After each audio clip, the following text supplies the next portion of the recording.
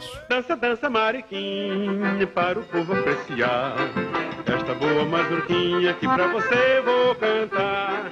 Força, meu bem, a sanfona toca. Pipiripom. Aí eu já tava tocando ali pelo Mangue, no Rio de Janeiro, e chegou Miguel Lima eh, se propondo em botar letras em músicas minhas, porque já havia musicado também para Antenor de Silva.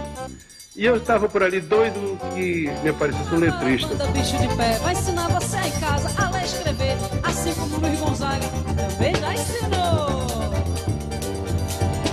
Lá no meu sertão, os caboclos tem de aprender outra vez o JG, o LL, o SS mais o L tem nome de rei. O JG,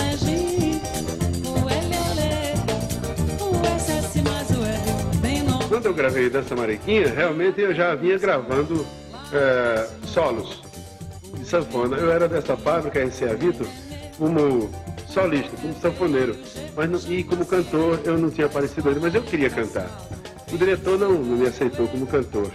Até que uma fábrica chamada Odeon, que existe até hoje, fabulosa, se propôs a me aceitar como cantor.